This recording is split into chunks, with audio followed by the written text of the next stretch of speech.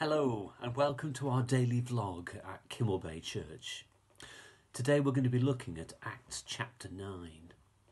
And uh, I've got a question for you to begin. Uh, is there someone you've been praying for for a long time? It might be a close relative, a friend, and maybe you've asked God to reach out to them in a miraculous way. But up to now, it hasn't happened. Well, today we're going to look at an occasion where God did reach out to someone in an amazing way. And as a consequence, how his life helped to change the world. We're actually going to look at Paul's conversion. Now, we first come across Paul, or Saul as he was called at the time, when he was looking after the coats of men who were stoning Stephen to death. And next, he began to destroy the church going from house to house, dragging people off to prison. Then he asked the high priest for permission to go to Damascus to arrest the Christians there as well. So off he went. Now, as he neared Damascus, there was a flash of light. He fell to the ground and he heard a voice saying, Saul, Saul, why do you persecute me? Who are you, Lord? he asked. I'm Jesus who you're persecuting, he replied. Now get up and go into the city, and you will be told what you must do. So Saul got up off the ground, and he was led to the city, and for three days he didn't eat or drink. It gave him time to think about what he'd done to Stephen, about the Christians he'd arrested, and also the damage that he may have done to God and to God's plans. In Damascus, there was a believer called Ananias, and God spoke to Ananias, another miraculous event, and he said, Go to Straight Street and see a man called Saul. So Ananias off he went. He placed his hands upon Saul and he said, Brother Saul, the Lord Jesus who appeared to you on the road has sent me so that you may see again and be filled with the Holy Spirit. Immediately something like scales fell from Saul's eyes, and he could see again. He got up, and he was baptized.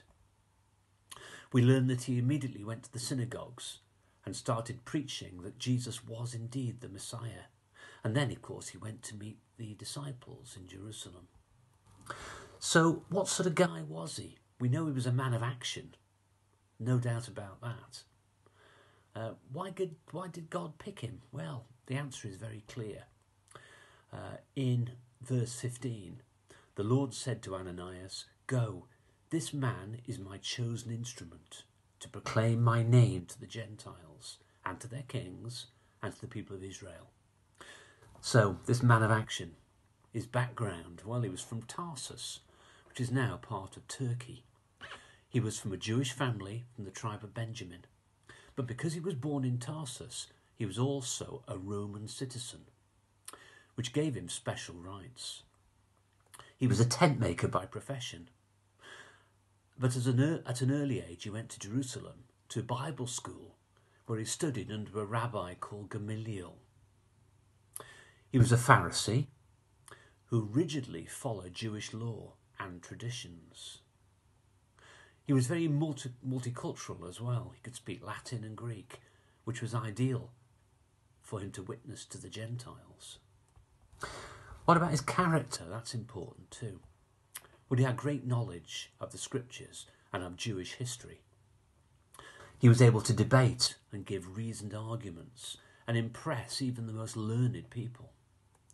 He was intelligent, quick thinking, skills that helped him sidestep some real problems later on. He had, had integrity. He wasn't self seeking, he was a zealot a zealot for Jewish traditions, with an honest desire to serve God. He was loving. We can pick that up from the way he looked after the churches that he helped to establish, and it's very clear in his letters too. But he was humble as well, well aware of his weaknesses. He often talked about a thorn in his flesh. We don't know what it was, maybe a physical illness that caused him pain, or maybe opposition or maybe the temptation to be proud or arrogant. He was tenacious, he wouldn't give up. Uh, Philippians 4 says, I can do all things through Christ who strengthens me. He was selfless, willing to place his hands into his life into God's hands. All the more determined because of the damage he'd caused. He was brave too and resilient. He'd faced a lot of situations. Uh, in 2 Corinthians 11, he said, Five times I received 39 lashes from the Jews. Three times I was beaten with rods. Once I was pelted with stones. Three times shipwrecked. Constantly on the move. In great danger from rivers, from bandits. All sorts of great difficulties. He was a pretty brave guy.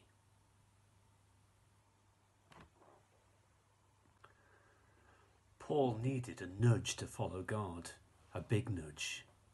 And that's what happened on the road to Damascus. All his beliefs shattered in that flash of light. This one encounter changed him, sent him in a new direction, using all his talents to serve God. So, what were his achievements? Well, they were immense. He wrote nearly half the books of the New Testament, 13 out of 27. He completed three long missionary journeys over 32 years, preaching throughout the world, setting up churches wherever he went, even went to Rome. And in the end, he said, I have fought the good fight, I have finished the race, I have kept the faith. So God chose Paul because he was needed to spread the word to the Gentiles. He also chose other people too Abraham to be the father of the Jewish nation, Moses to lead the people out of Egypt, Mary to be with to be the mother of Jesus, and of course many others too. And of course he's chosen each one of us. But back to our original question, why doesn't God appear miraculously to convert everyone? Surely if he appeared in a blinding flash, everyone would follow him. Not necessarily. Consider the Israelites. Moses led them out of Egypt and they saw the plagues. They saw the Red Sea parting. They were fed with manna and quails. They saw water coming out of a rock. They saw a pillar of fire leading them along, but still they moaned and rebelled. It was only the next generation who entered the promised land. Uh, a more up to date little story. Uh, a close relative of mine once had an encounter with God. She woke to find a very bright light in her bedroom, and Jesus standing in her room, pointing at her as if to say, You need to follow me. She could still even see him when she put her head under the pillows. Yet today, she's still a long way away from Jesus. You see, God doesn't want us to be like robots, blindly following him. He wants us to choose to follow him. He wants us to have free will. Unfortunately, many choose their own path instead. Jesus told his disciples the parable of the sower to explain this. He said, A farmer went out to sow his seed. As he was scattering the seed, some fell along the path, and the birds came and ate it. You see, some hear the message, but don't understand it, and the evil one comes along and snatches it away. Jesus said, Some fell on rocky places, but where there was, wasn't very much soil. The seed sprang up quickly because the soil was shallow, but when the sun came out, the plants withered because they had no roots. Someone hears the word, they might then receive it with great joy, but quickly fall away as soon as troubles or difficulties come along. And Jesus said, Other seed fell among the thorns, which choked the plants. This is someone who hears the word, but the worries of this life and the desire to gather wealth choke the word, making it unfruitful. Still other seed fell on good soil. This is where someone hears, understands, and their lives are fruitful. So there are many reasons why people ignore God. Maybe because they're so hard of heart and so set in their ways they won't change. But through Jesus, everyone has the opportunity to seek Him and find Him and commit their lives to Him. For those that don't, we can still encourage them and pray for them. Paul in Romans 11, verse 33 says, How great are God's riches! How deep is his wisdom and knowledge! Who can explain his decisions? Who can understand his ways? Who knows the mind of the Lord? Who is able to give him advice? For all things were created by him, and all things exist through him and for him. So the answer's simple, really. God is sovereign, and we must trust him. Maybe we can finish with a prayer. Let us pray.